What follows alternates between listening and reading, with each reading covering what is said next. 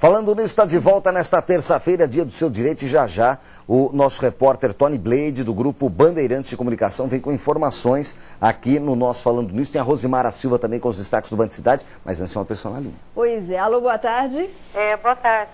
Quem fala? É a Ariane. Oi, Ariane, tudo bem? Tudo bem, eu queria perguntar para o doutor, posso já fazer a pergunta? Pois Claro. não, Ariane. Então, eu me separei faz cinco anos, né? E eu tive que sair da minha casa com autorização judicial, né? E, e esperando que depois eu voltaria. Depois o marido saía e eu ia voltar para casa.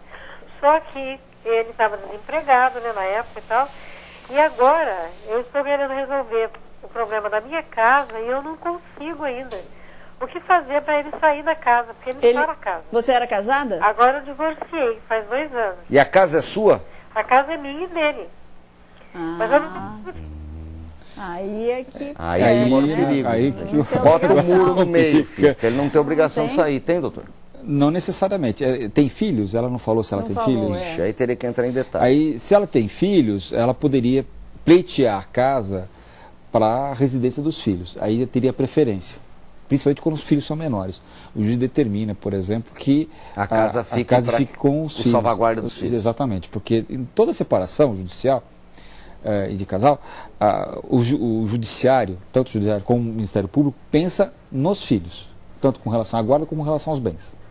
Tá? Então, se ela tem filhos, ela pode pleitear a casa para a morada dos filhos. Como ela tem a guarda dos filhos, ela vai morar na casa. Ela tá Mas na linha ca- ainda, Felipe, Mas é a casa continua sendo dos dois. Outra telespectadora que não quer se identificar. Ah, perfeito. Alô, boa tarde. Boa. Olá, Luziane, Oi. tudo bem? Tudo. Diga, querida. diga. É, eu tenho, tenho um filho de três anos, tô, sou, assim, moro junto em união estável há quatro anos. É, é, mas eu tô querendo me separar com- do meu marido, só que ele não quer me largar de jeito nenhum. Eu tenho direito a alguma coisa? Claro, você quer, ué? Né, Tem doutor? sim, tem direito. Tem direito de pegar o filho e sair andando só com o filho ou tem É, não, direito a alguma teria, coisa? teria É. que entrar com uma ação de dissolução de união estável, né, ah, dizendo que existe o filho do casal e quais são os bens que o casal teve durante esse período, pedindo a separação. né. Normalmente não é uma, uma, uma ação fácil, porque a outra parte também vai contestar a ação, vai dizer que os bens não são dela e tudo mais. Então isso é um realmente um pouco demorado. né. Mas ela pode entrar com uma ação de dissolução de união estável. Inclusive, se ela não tem recursos para isso, ela pode procurar ah, os advogados dativos, né, que temos aqui em São José, para poder fazer. É um pouco mais demorado, porque eles têm uma agenda repleta e aí acaba estendendo um pouco mais o prazo. né. Ok. Tem Legal. uma linha de cruzeiro, Nick. Vamos para Cruzeiro, alô! Oi, sou oi, Nicoline. Oi, Paula, tudo Paula! bem? Joia. Tudo. É uma pergunta pro doutor. É, eu sou casada, Uhum. né? E nós temos uma união parcial, porque já, é, isso está no, no, no certidão de casamento, né? Só que eu não tenho nenhum dos meus documentos com o nome de casada. Eu queria saber se, assim, se acontecesse alguma coisa, tanto comigo, tanto com meu esposo, é, se os direitos são mantidos, é, mesmo não tendo nenhum documento, só tendo a certidão de casamento. Acho que o nome não influencia, influencia? Não, não influencia. Na realidade, O nome é o- opcional, falando isso? O nome é opcional. Hoje você né? pode eh, casar e ah, ficar com o mesmo nome. Aliás, o homem pode levar até um sobrenome Pode, da inclusive, mulher, pode ou- inclusive. O meu tá filho casou agora em fevereiro passado e colocou o nome da família da esposa no nome dele. Tá vendo? Pode fazer isso também. No caso da, da telespectadora, ela não tem problema com relação aos bens. É óbvio que ah, o documento que vai comprovar que ela era casada com ele e que ti- existia o casamento é a certidão de casamento. Então a identidade dela, com o nome de solteira mais a certidão de casamento, vai comprovar a existência do casamento e a, a- Era obrigatória essa história do nome, doutor? antes da alteração da lei era. A mulher adquiria o nome do, do marido. União estável pode adquirir o nome? Não, porque na realidade as duas pessoas continuam com o mesmo estado civil que é solteiro. Você é solteiro? É. Por isso que tem o tal do tico-tico no fubá. É. Solteiro, casado ou tic-tic no fubá? Tico-tico no fubá. Tem mais uma pessoa na linha. Alô, boa tarde. Boa tarde. Quem fala? É a Priscila. Oi, Priscila. Tudo bem? Tudo, e você? Tudo bem. Priscila animada. Ligue, mulher.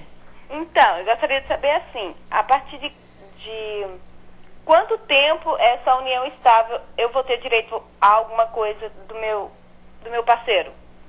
A gente tempo. comentou, né? Não tem tempo. Não, tem, né? não existe um tempo. É que tinha um tempo, não tinha, doutor? Antes tinha, dizendo que a união por mais de três anos, né, mais de dois anos, caracterizaria, mas isso acaba- deixou de se desistir. Essa porque, jurisprudência não existe, não existe mais. é, na realidade, a, a lei ela falava nesse tema, mas foi suprimida depois. Foi. Tá? Então, o que interessa é a vontade das partes de manter o núcleo familiar.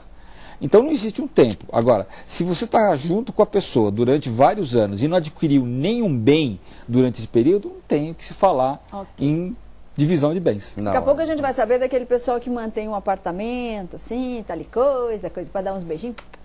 E aí?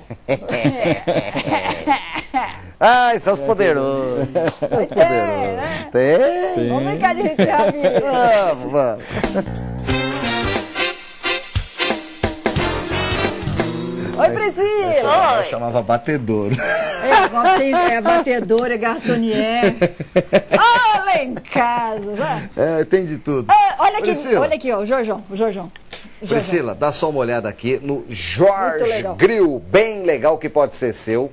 Presentaço do Falando Nisso e da Centro-Sul Cirurgia Plástica, que deixa você mais bonitona, que deixa o garotão mais bonitão. É bem legal, pessoal, bacanérrimo. Segurança, tranquilidade, todos os médicos membros É da bem legal. cirurgião. É, são, são da Sociedade Brasileira de Cirurgia Plástica. É velho. Ô, Pri, Vem passageira, Pô, essa é homenagem à meu- minha tempestade ontem, né? Se você não viu ontem, veja no foi tvbandvale.com.br. nuvem eletrostática. Scour Nights. Ô, Pri, Oi! explica pra ela, Nicolas. Pri, é o risque rabisque. A Ah, Sol vai desenhar aqui, cinco coisas pra você, ali no quadro branco. né? Cinco coisas você tem que adivinhar. E não pode passar, tem que ir chutando até acertar, tá bom? Tá bom, me ajuda. Vale o Jorjão. Vamos não, lá. Ajudar com a Sol. Primeiro é muito difícil. fácil. vai Valeu. Coração. Ei!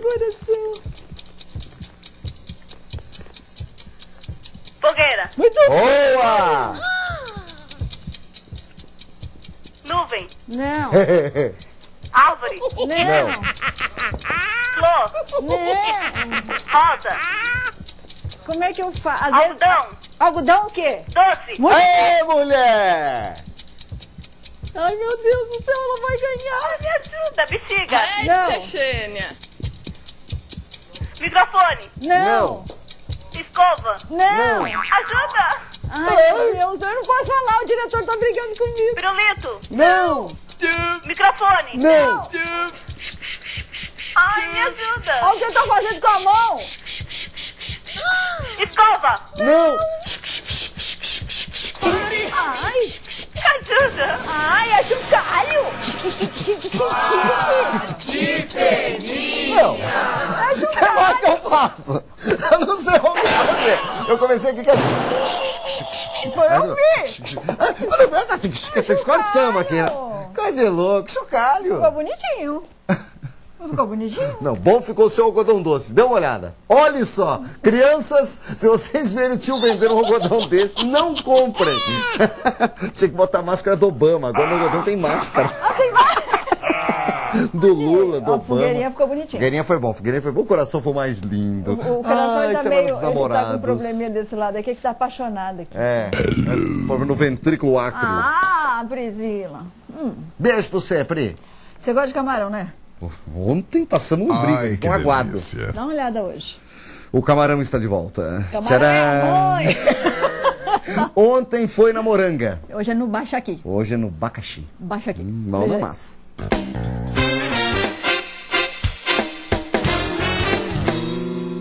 Boa tarde, eu sou Carlos Tadeu do Flipper Restaurante e hoje, no Mão na Massa, eu vou passar para vocês a receita do camarão no abacaxi. Adicionamos a manteiga para derreter, um pouco de cebola para fritura, agora colocamos os camarões. Agora vamos eh, corrigir um pouquinho com sal, creme de leite, a polpa do abacaxi já preparada anteriormente. Agora vamos colocar esse preparado dentro do, do abacaxi requeijão, queijo ralado a gosto. Em seguida, levamos o abacaxi ao forno para gratinar. E aqui está o camarão no abacaxi do Flipper Restaurante. Espero que vocês tenham gostado.